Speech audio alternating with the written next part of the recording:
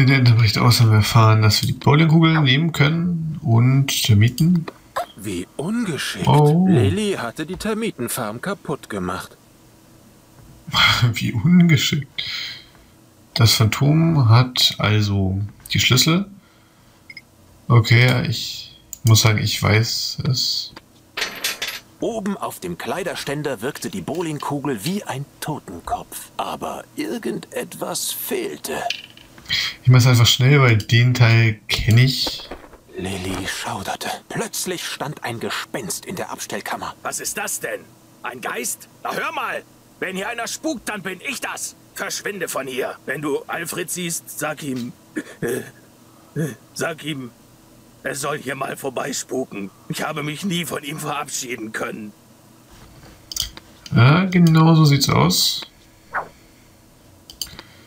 Und dann machen wir folgendes. Wir werden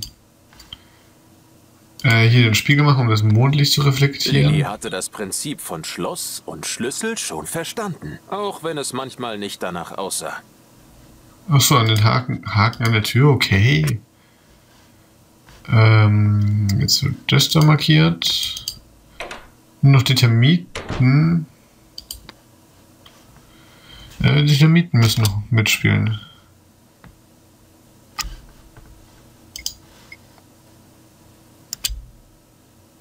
Ach, wir haben hier noch ein, eine Lunchbox. Bo- Box, Box. Da hatte jemand seine Lunchbox stehen lassen. So etwas konnte Lilly Hm. nicht passieren. Sie hatte ja gar keine Lunchbox. Oh. Ho Honigpfannkuchen. Ach, mögen Termiten. Mö- Mögen die nicht Holz? Okay. Ich lass die mal, ich lass die mal essen. Bemerkenswert. Die Termiten hatten den Pfannkuchen verputzt und dabei ein Loch in die Tür genagt. Okay, ja, und jetzt hängen wir das Bild an, ähm, an den, an den Haken. Was ist das denn? Ein Geist? Na hör mal! Wenn hier einer spukt, dann... Äh, warte mal. Alfred? Alfred, du bist es wirklich. Ich... Ich kann es kaum fassen. Oh, Alfred. Ich konnte Oh. mich nie von dir verabschieden. Oh, und dabei habe ich dir doch noch so viel zu sagen. Oh, wo- wo soll ich anfangen? Ach ja, ich weiß. Du miese Dreckskröte! Deinetwegen habe ich mein ganzes Leben in einer stinkenden Kanalisation verbracht. Na warte. Oh. Ja, ist traurig und könnte in einem dritten Teil gut ausgearbeitet werden, aber wir gehen weiter. Durch die letzte Tür. In den letzten Moment von Harveys neue Augen. Lilly, so ein Glück. Wir hatten schon Sorge, du wärst auch erwischt worden. Der Doktor ist vollkommen übergeschnappt. Er will uns alle zu willenlosen Marionetten machen. Sieh nur, was er der Oberin angetan hat. Oh. Hallo Lilly. Schön, dich zu sehen. Aber was treibst du bloß hier? Mitten in der Nacht. Haben dich deine Mitschüler dazu angestiftet? Das sind so ungezogene Kinder. Du hingegen warst immer so brav. So brav. Es tut mir leid, dass ich immer so streng war. Aber jetzt, dank Dr. Marcel, bin ich auch ein artiges Kind. Komm, Lilly, setz dich. Du kannst mir helfen, die Puppen für den Doktor zu sticken. Ignoriere sie einfach. Finde lieber einen Weg, um uns zu befreien. Wir müssen hier fort, bevor der Doktor... Oh oh. Ja, Habe ich dich endlich. Ich hatte gehofft, dass du hier aufkreuzen würdest. Ich kann jede Hilfe gebrauchen, um die Produktion meiner Hypnosepuppen voranzutreiben. Schon sehr bald werde ich die ganze Welt beliefern. Aufsässige Kinder wird es nur noch in Geschichten geben. Sobald ich dich meiner verbesserten Hypnosetherapie unterzogen habe, kann mich nichts mehr aufhalten. okay. Ja. Okay. Ja, wir freuen uns alle. Äh, Nadel. Du sollst Keine spitzen Gegenstände. Okay. Äh, aber noch Poki, der letzte Kommentar, wie ich das sehe, ja. Oder? Ja, und sowas wünscht man sich natürlich schon als Autor, dass man halt irgendwie eine Fortsetzung von einem Teil dort enden lassen kann, wo der erste Teil gestartet hat. Irgendwie ist es einfach, einfach schön, dass halt irgendwie äh, hier alles gipfelt und ihr habt es sicherlich schon erraten, die Geschichte spitzt sich zu und wir nähern uns tatsächlich dem Ende. Und hier gibt es eben nicht nur ein Wiedersehen mit allen Charakteren, die halt in der Geschichte von Anfang an wichtig waren. Garrett ist da, Edna ist da, die oberen Ignaz ist da und Dr. Marcel schließt uns ein. Und eine ganze Reihe Harveys sind da. Nein, es gibt auch ein Wiedersehen mit Ednas Einzelzelle aus dem ersten Teil.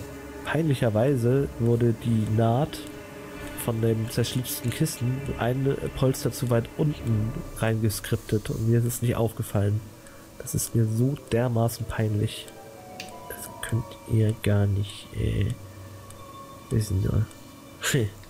naja, auf jeden Fall besonders schön äh, fand ich auch bei den Aufnahmen und als ich es dann halt irgendwie zum ersten Mal gespielt habe, die Wiederzusammenführung von Edna und Harvey, also wenn man das erste Mal die Aktion benutze, Edna mit Harvey macht, das äh, war für mich tatsächlich selbst einfach ein magischer Moment, das zu schreiben erstmal und das dann halt auch äh, tatsächlich wieder von den alten Sprechern zu hören und so. Es liegt ja alles nicht so weit zurück, aber äh, ja, das kriegt man schon ein bisschen feuchte Augen. Und ich hoffe, ich kriege die beiden auch wieder mal für ein Projekt, ein mögliches, nächstes, äh, das Mikro. Wer weiß. Wer weiß. Hm. Benutze Harvey mit Edna, aber erstmal reden wir. Ähm, ich freue mich ja so, dich zu sehen, Lilly. Ich würde dich ja umarmen, aber naja, diese Woll-Version eines H.R. Geiger-Albtraums schränkt meinen Handlungsspielraum etwas ein. Können wir diese rührende Wiedersehensszene auch später verschieben? Erst einmal brauchen wir einen Plan, wie wir hier runterkommen. Deine Mutter braucht einen Plan. Meine Mutter hat einen Plan. Zum Beispiel, mir einen Sinn für die Realität zu vermitteln. Was ist der Plan deiner Mutter? Ach, ich vergaß. Du hast ja gar keine Eltern mehr. Boah, wie fies. Was? Oh, Lilly hat recht. Wir sollten uns lieber darauf konzentrieren, hier rauszukommen.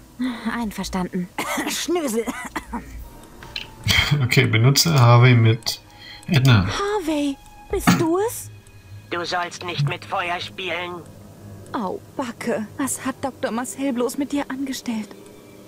Hm. Ich schätze mal, wie Poki am Anfang uns vermittelt hat, Nadel und Faden. Perfekt. Jetzt hatte Lilly Nadel und Faden. Ja? Lilly würde den Teufel tun der Oberin beim Stricken. Äh, Komm, Lilly. Du kannst mir. Wir sind brav. So. Die so wird Lilly. Ja, okay. Äh, können wir die mit Nadel und Faden runterholen? Nee, oder?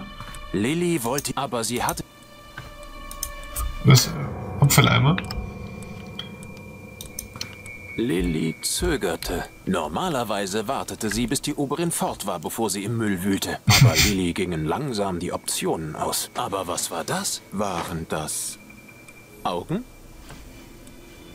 Harveys alte Augen.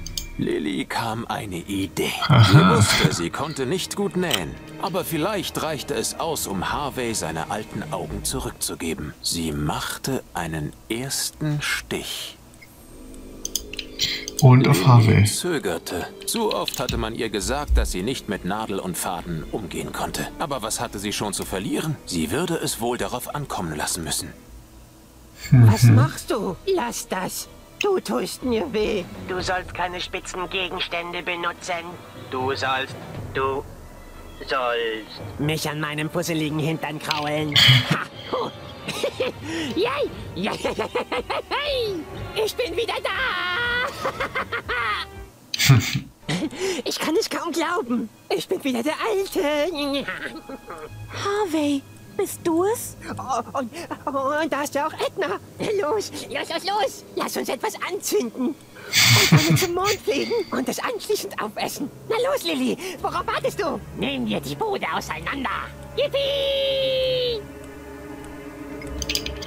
Harvey. Harvey, bist Edna.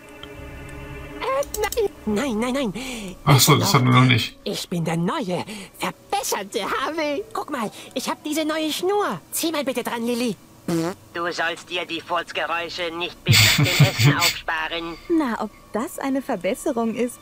Du hast ja noch nicht nach dem Essen dran gezogen. Ach, Harvey, du bist wirklich wieder ganz der Alte. Claro, clarissimo. Aber du wirkst ein bisschen eingerostet. Hast du einen neuen Hut? Ich bin gefesselt, Harvey. Äh, ach so. Ach so. Seit wann regst du dich über solche Kleinigkeiten auf? Da sind wir doch nun wirklich schon mit Schlimmerem fertig geworden. Eben. Also hilf Lilly, uns hier rauszuholen, okay? Sie ist wirklich sehr gut in sowas. Sie ist meine beste Freundin. Oh. Hättest du wohl gern. Lilly ist nämlich meine beste Freundin. Habt ihr es bald? Wenn es euch nichts ausmacht, sollten wir Lilly hier lieber einen Weg nach draußen finden lassen, bevor der Doktor wiederkommt. Bevor der Doktor wiederkommt. Ja, ja, schon gut. Spliffetepper. Ach, cool. Die Polsterung war zerrissen. Was war hier vorgefallen? Na, hier nichts. Hier. Könnte Harvey jetzt mit äh, der benutzen? Du musst uns befreien, Lilly. Ich glaube, die Oberin hat ein Messer, um die Fäden zu kürzen. Dummerweise kann sie es nicht benutzen, solange sie unter Hypnose steht. Konnte Lilly der Oberin auf diese Weise helfen, ihre Blockaden zu lösen? Zitternd zog sie an der Schnur. Ja.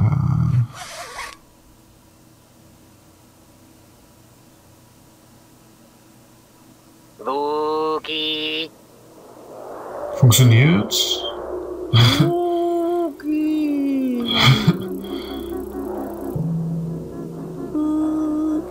ja, alle.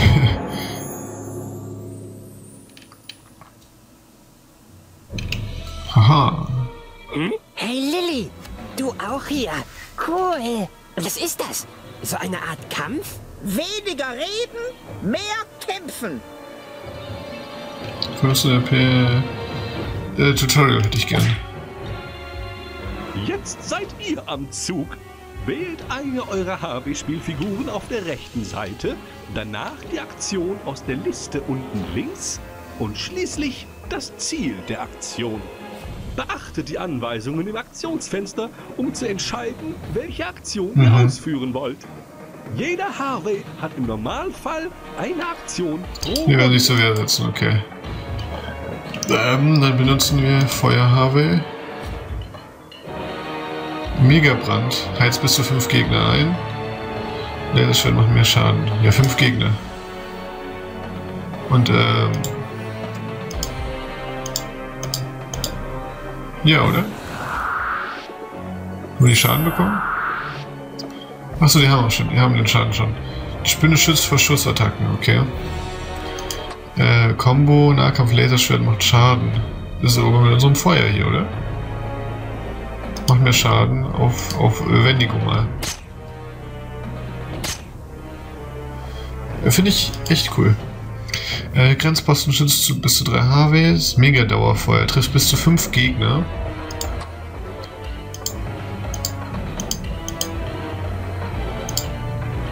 Ich will immer auf... äh, Oh, was? Was war das für ein Geräusch? Die haben gar keinen Schaden bekommen, bemerke ich gerade. Äh, schön. Propaganda. Lässt den Gegner zwar seine Mitstreiter angreifen. Blockiert ihn.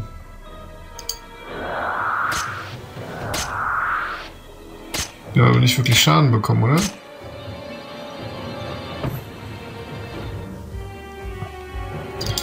Äh, Feuerhabe, macht mal Magie, Feuerattacke auf zwei Gegner, auf die beiden. Wir greifen einfach mal normal an. Ja, der Schneemann schützt seine Verbündeten. Magie, wähle ein Opfer. Wir töten jetzt erstmal den Schneemann alle auf einen. Ich glaube, das ist das Schlauste. Magie, wähle ein Opfer. Okay, Schneemann ist down. Äh, nehmen wir uns als nächstes den Wendigo. Magie, wähle ein Opfer, Wendigo. Achso, wir haben gerade den Drachen. Ach, wer, wer kann heilen? Ist mir jetzt egal. Äh, wähle einen Verbündeten. Achso, nee.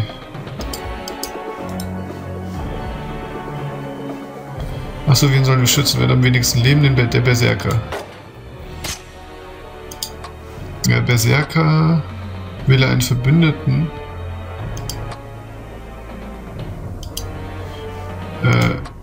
Okay, Magie. Ich habe keine Ahnung, was die Magie jetzt gebracht hat, aber Magie. Wähle einen Verbündeten. Nee, das können wir gar nicht machen. Weil ich, das wäre bescheuert. Ach ja, das war gerade ein Fehler, glaube ich. Megabrand. Geht gar nicht.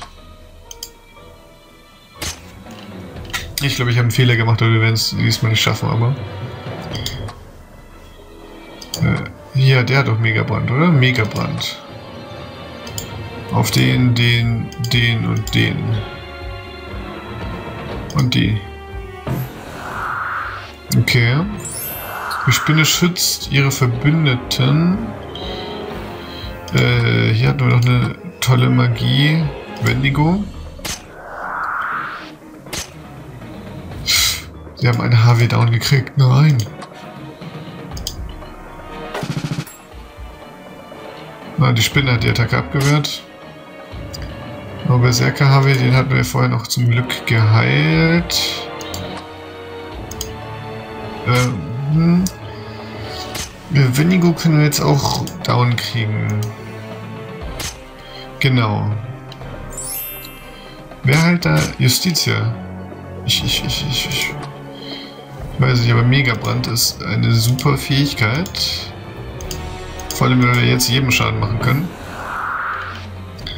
Äh, jetzt gehen wir auf die Spinne, oder? Äh, Magie, wähle ein Opfer. Hier. Ne, Berserker sieht noch ganz gut aus.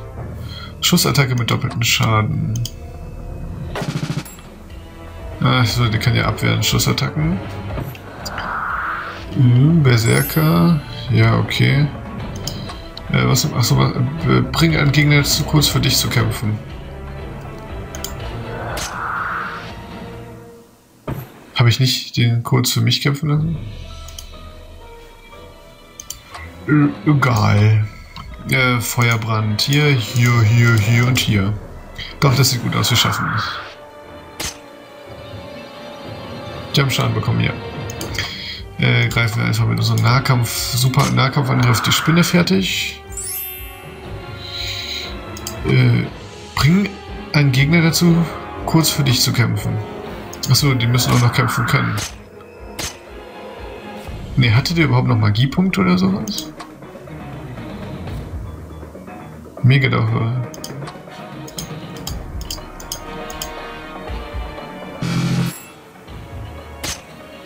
irgendwie keinen sichtbaren Schaden gesehen. Nein, Feuer Harvey. Der war der beste von allen.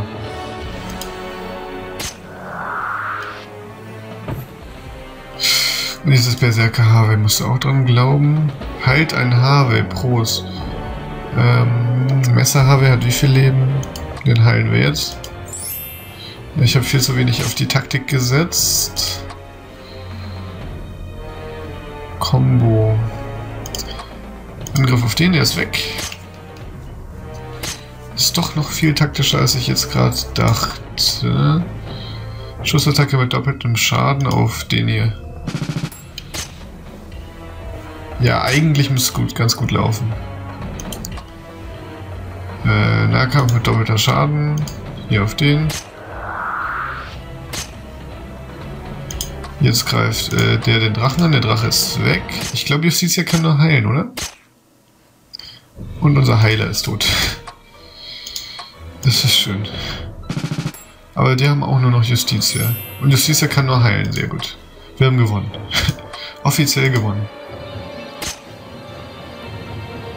Ja.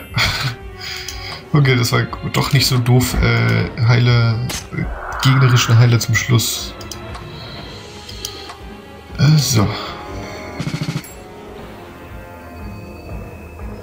heilen. Achso, achso, ich bin wieder dran. Normale Angriffe reichen jetzt auch aus. Und yay. Du hast gewonnen. Yippie. Nein, das kann nicht sein. Das war cool. Du solltest doch Das war ein richtig dass cooles- sie sich an die Regeln hält. Sie kann hier doch nicht einfach tun und lassen, was sie will. Na klar, Randale. Aber wir brauchen Regeln. Sonst, sonst. Randale. Oh.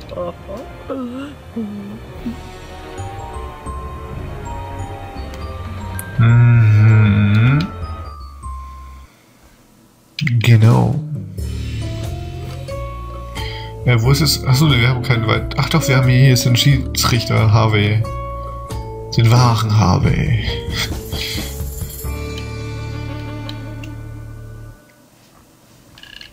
Und mit dem Messer können wir jetzt die anderen losschneiden und